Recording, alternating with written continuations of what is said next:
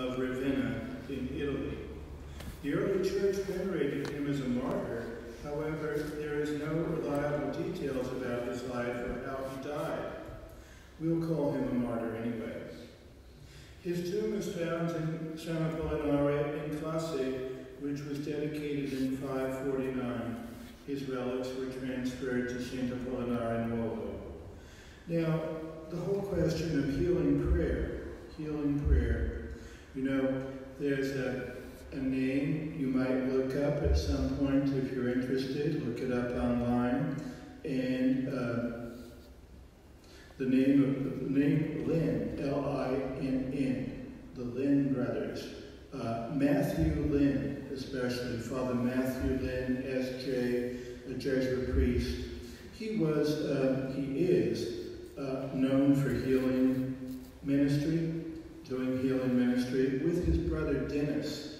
Dennis was also a Jesuit priest who left and got married to Sheila Fabricant, Sheila Fabricant is a Jewish lady who, and all three of them have gifts of healing prayer. So they work together at this point, and they, they go on lectures, they give retreats, they write books.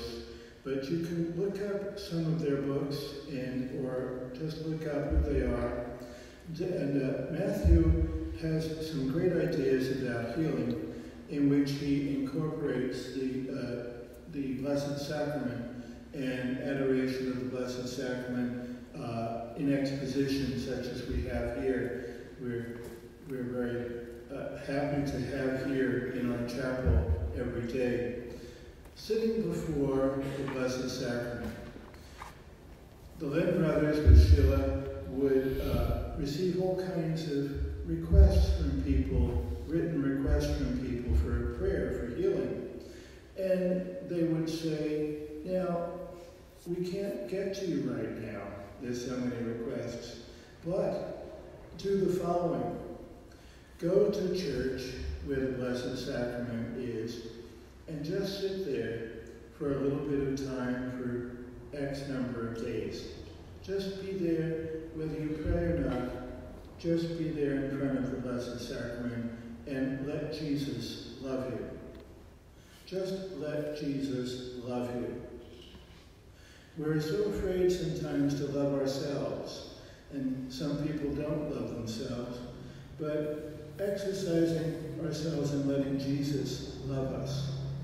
People would report back to them that they no longer felt a need for that prayer from the brothers and from Sheila because Christ himself from the Eucharist had healed them, had made it possible for them to see the light at the end of the tunnel, as it were, made it possible for them to carry their burdens, whatever they were. Their problems were still there, but they no longer felt so defeated. They no longer felt so without recourse, without, without possibilities. They could cope. So we give thanks for the great power of the Eucharist, the most holy Eucharist, as we ask God each day to make us more whole. Let's bring our